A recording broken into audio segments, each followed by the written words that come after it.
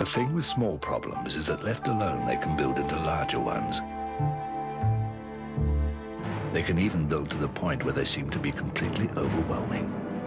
We can't promise your problems will melt away, but we can help put them into perspective for you. Lifeline. Listening is the least we can do.